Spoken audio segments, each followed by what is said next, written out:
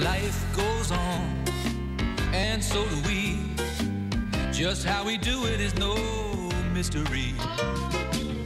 One by one, we fill the days. We find a thousand different ways. Sometimes the answer can be hard to find. That's something I will never be. I'm always here for anything that you need. Rain shine, I'll be the one to share it all as life goes on. We share it all as life goes on.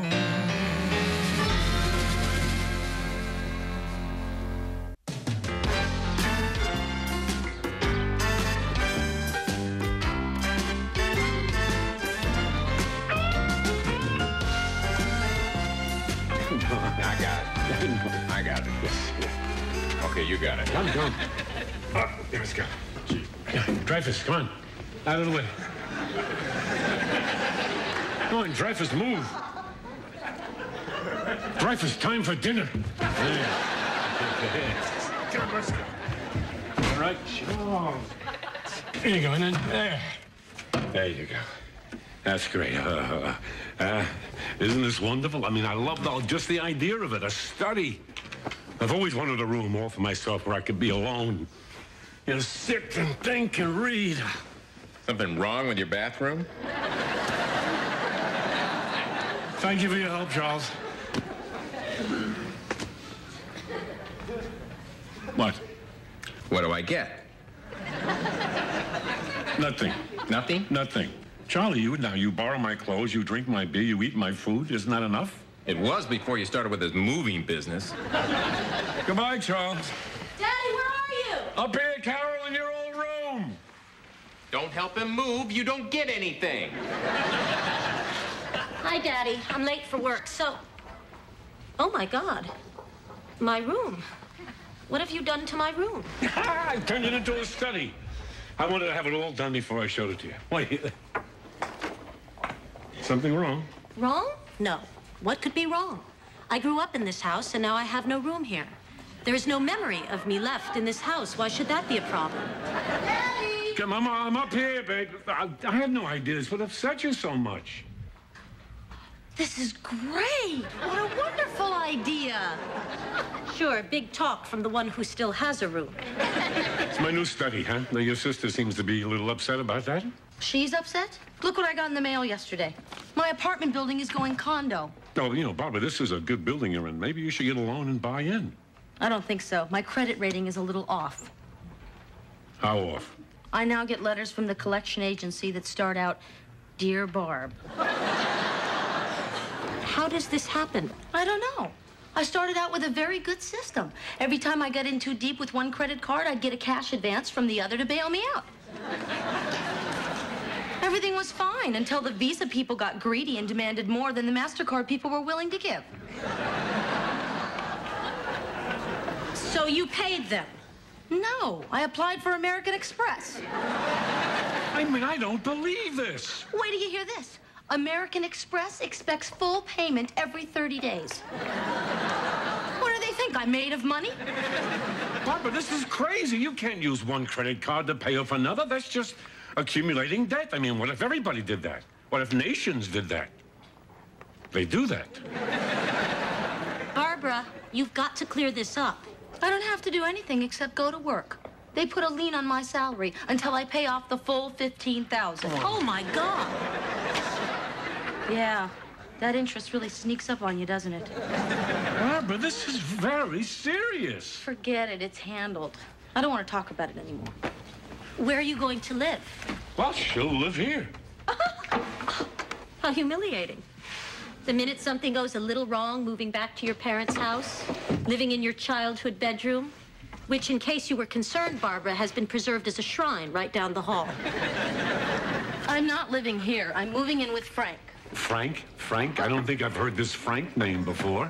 Daddy, I can't live with you. I'm an adult. And I know you. There would be rules and curfews, and you would listen in on my telephone conversations. I never did that. Oh, really?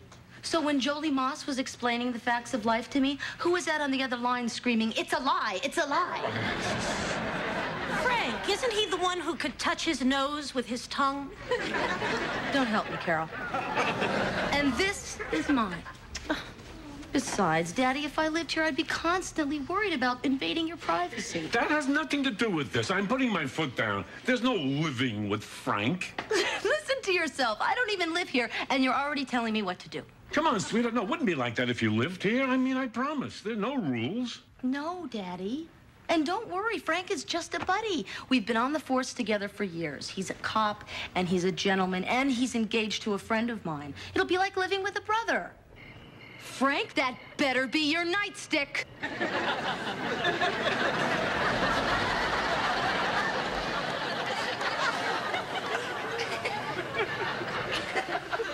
I don't believe it. I mean, I just can't believe that Frank would try something like that. Yeah. Well, the doctor said he'll be fine. He just can't touch his nose with his tongue anymore. Well, moving back must be very strange for you. Yeah, I just keep telling myself, it's only temporary, it's only temporary. Well, I certainly couldn't move back. I mean, it would be tough to get on with the normal steps in your life.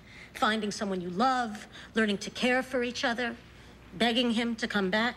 Uh, baby, I put all your towels in the linen closet. this is great. You're home. Yay. What is it with you girls and this independent stuff? Come on, you don't really want to be alone. You, you need some closeness. You need some, some companionship. Daddy, I like living alone. What's wrong with a little company at the breakfast table? Pancakes on Sunday, uh, someone to talk to, someone to share your day with. Pancakes. Come on, dear, it's gonna be like old times. We'll have long conversations and Saturday night card games. I have planned Saturday nights. Conversation. Chatting with something you don't have to water.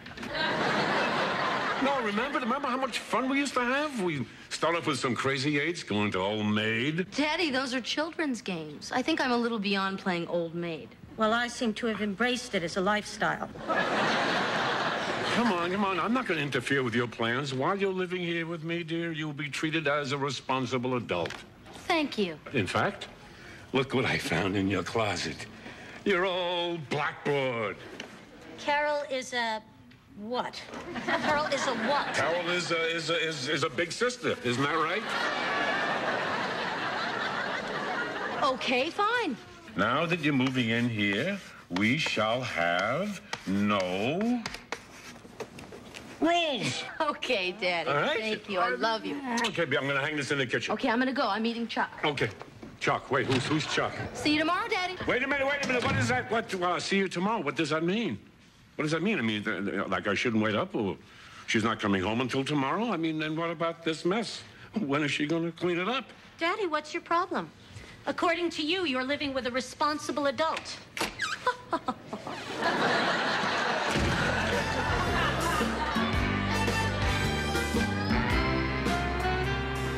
Barbara, please. Now, you gotta stop leaving these kind of messages. Every time you break something, he's mad at me for the rest of the day. You broke the VCR, wrecked the day.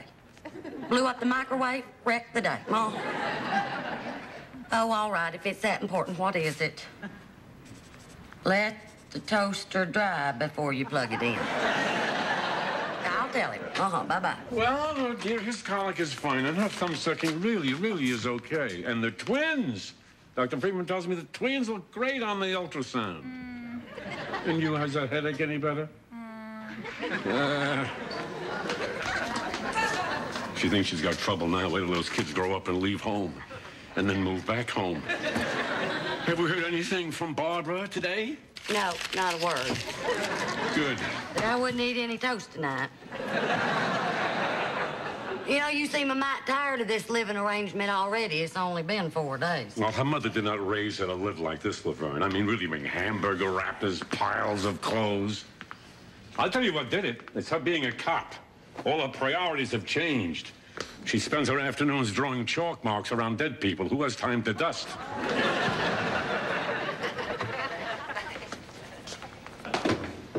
Did you forget something, Mrs. Straw?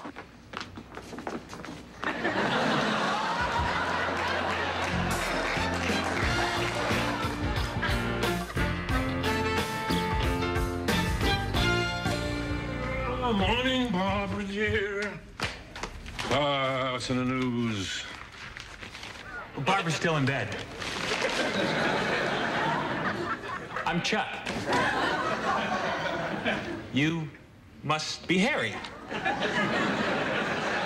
Nice mug.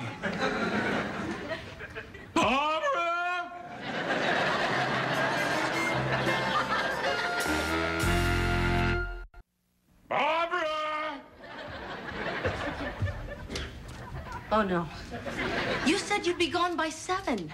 Gosh, how time flies when when you have no idea what time it is. Uh, oh, I left it up by the bed. Chuck, I'll mail it to you. Goodbye. Daddy, Now, Barbara, I like to think of myself as a modern man. I mean, I believe in the ERA. I have no prejudices. I own a digital watch. Did I mention the ERA? Daddy, I'm sorry. He wasn't supposed to be here when you got up. Actually, we were going to go to his place, but his mother's visiting. Hey, if it's any consolation, I was home by 11. Barbara, dear, I think you may be missing uh, the point. See, I cannot have. I mean, the idea. like that in this house. Like what? Daddy, you said I could live here the same way I lived in my apartment. I mean, really, in my apartment, do you think I was celibate?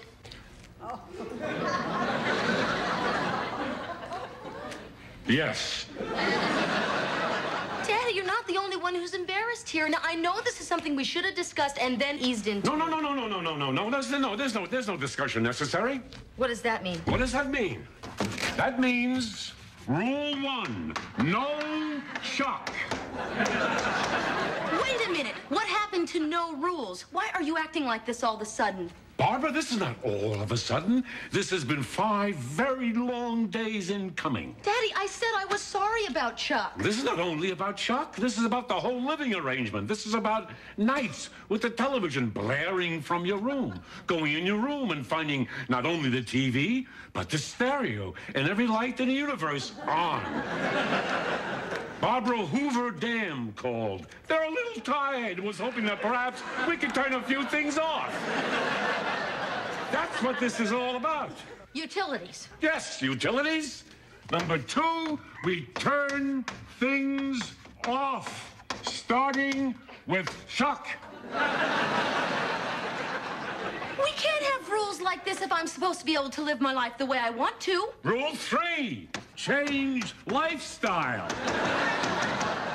Daddy, you're acting like I'm 12 years old. This has got to stop. No, this does not have to stop. As long as you're living under this roof, you will go by my rules. Fair enough. Rule four. Good. Bye.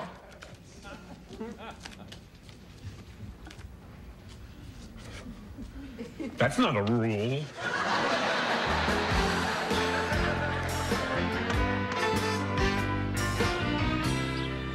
Did you tell him you were leaving? I would have, but I think he has a rule against it. So where are you going to stay? Oh, God. Carol, it's only temporary. Everything in your entire life is temporary. Yeah, but only for a little while. Everything. Your, your, your finances, your living arrangements, your boyfriends. How do you stand it? Well, I guess when things are temporary, I don't expect much. When I expect things, I get disappointed. Oh, maybe that's it. I expect things all the time, and I'm disappointed. I'm disappointed that I haven't had a child yet. I'm disappointed that I haven't gone further in my career. And I just can't believe what is happening to my upper arms. So can I stay here? Just until I make other arrangements? Would you be disappointed if I said no? Yes, but only temporarily.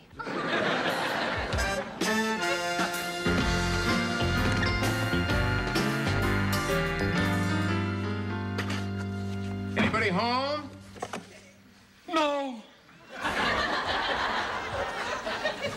That sounded like one of those, boy, I could use some company now knows. Why so glum, chum? Barbara moved out. Well, I'm not surprised. I saw Rule 12.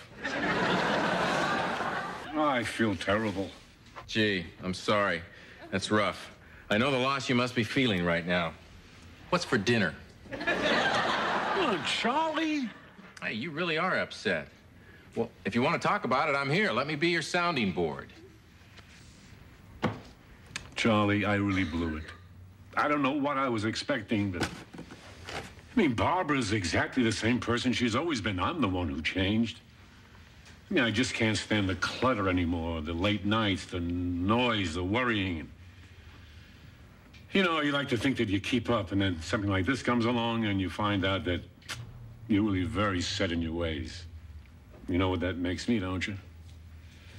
Old, and young people cannot bear being with old people. So, she's gone. Charlie? Charlie?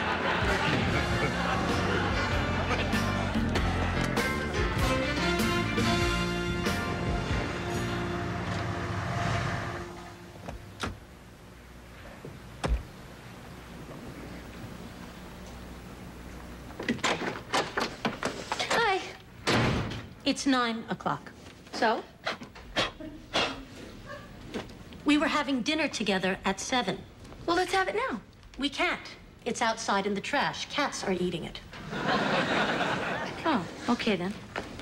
Though God knows they should still be full from the casserole you missed last night. I'll be in my room. I thought we could go to the movies. I can't. I have work to do. Oh. Again? Carol. What is this? We never go out anymore. Anymore? The closest you and I ever came to going out was the night I cut my hand and you had to take me to emergency. So what? You're saying you didn't have a good time? I don't know which is worse, you or Daddy. I mean, maybe Daddy treats me like a child, but Carol, you're trying to turn me into your whole life. Well, that is just ridiculous. For your information, I happen to have a very fulfilling and exciting life. The last thing I need is you to build my world around. I have done things and seen people that you have only dreamed of. Okay, I'm sorry. You want to hear about some of them? Good. Now go change into your nightie. I'll make us some nachos.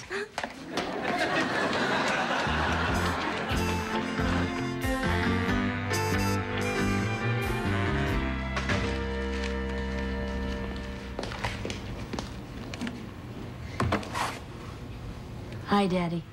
Hi, you talking to me? Yeah, if it's okay. That is very okay. So, how's Carol? Let me just ask you this. When Mom was pregnant with Carol, you guys didn't, like, make any kind of deal with the devil, did you? Oh, come on. Well, it's not that bad. She calls me all day at work to see when I'm coming home. And she expects me to spend all my free time with her. And she insists on blaming me for the 8,000 cats that have surrounded her building. Sweetheart, your sister is lonely. Daddy, I need to tell you a couple of things. First of all, I'm sorry. This has all been very hard on me, owing all this money and losing my independence. And I realize that I took it out on you.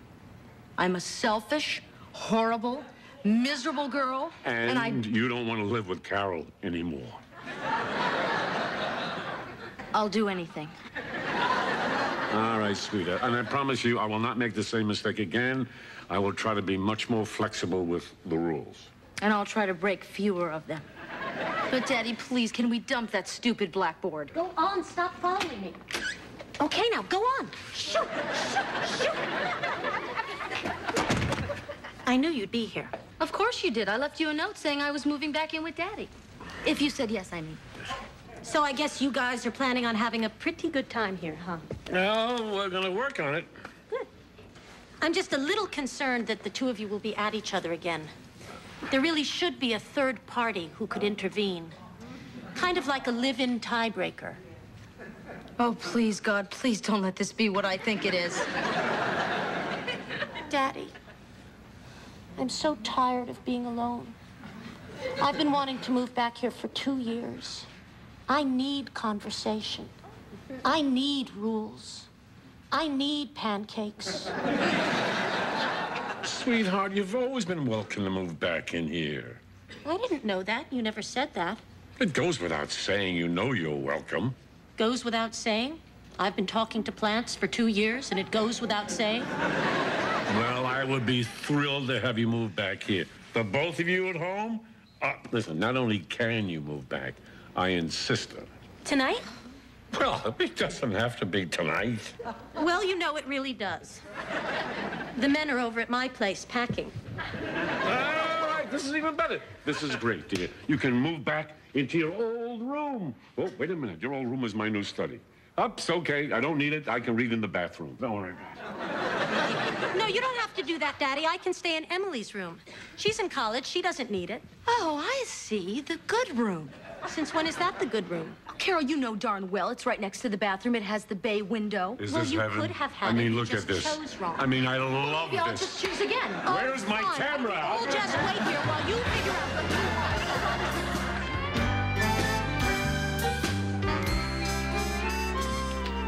Come on, everybody, it's ready. Our first family breakfast together. We've got orange juice, fresh fruit, and pancakes. Barbara? Sorry, I gotta go. I'm late.